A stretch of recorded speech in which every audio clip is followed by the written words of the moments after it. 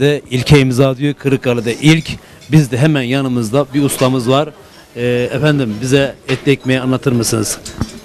Abi hoş geldiniz. Ee, Konya'nın geleneksel yemeği, meşhur yemeğidir. Konya dışında bunu elimizden geldiği kadar en iyi şekilde yapmaya çalışıyoruz. Peki neler var etli ekmekte? Nasıl yapıyoruz? Mayası mıdır özel, ça- yapılımı özeldir? Ee, bu sırada tabii işinizde yapın. Ta- e, hamuru özelliği bunun hamurun ince olması, et oranının fazla olmasıdır. Tabii işçilik önemli bunda. Yiyenler işte keyifle yiyor işte ince olduğu için memnun kalıyorlar. Bu Eti, Dokunmuyor. eti özel mi? Tabii. Dananın kaburga bölümünden olur. bölümünde. Bıçak arası dediğimizde bu e, sinirsiz kapak dediğimiz bölümden olur. Güzel, lezzetli bu şekilde.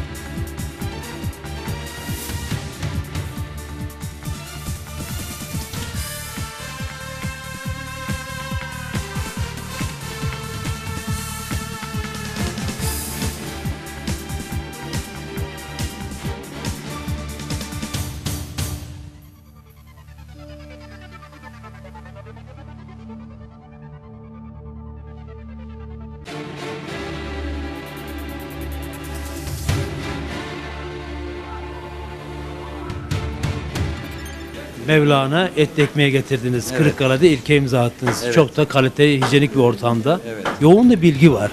Efendim neler diyeceğiz? Ee, Kırıkkale'de e, bu anlamda e, pide anlamında bir boşluk vardı. Biz de ülkemizin e, kültürünü, Konya'mızın kültürünü Kırıkkale'ye kazandırmak istedik. Bu anlamda e, çok da e, tepkiler aldık, güzel tepkiler aldık. Şu anda gayet iyi bir şekilde devam ediyor. E, e, biz diyoruz ki Kırıkkale her şeyin en iyisine layık. Kaliteyi e, sunmaya çalışıyoruz elimizden geldiği kadar. Bu anlamda e, şu anda her şeyden memnunuz. Gayet güzel gidiyor. Etli ekmeğin dışında neler veriyoruz? Var mı efendim? Güzel. Etli ekmeğin dışında e, e, gene aynı e, e, e, konseptin içinde bulunan bıçak arası, efendim işte e, kaşarlı böreğimiz, e, tandır kuzu tandır kebabımız var aynı şekilde. E, burada çeşitli menüde ikramlarımız da bulunuyor. Bunlarla beraber e, müşterilerimize hizmet etmeye çalışıyoruz. Ne diyoruz Kırıkkale'lere? E, ekli ekmeği getirmekle Kırıkkale'de e, bunu yapmakla kendimizle ve Kırıkkale halkıyla gurur duyuyoruz.